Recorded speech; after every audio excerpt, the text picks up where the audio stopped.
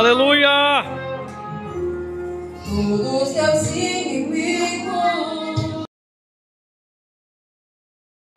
serão quando a da glória Deus te exaltar. Não dê ouvido, não.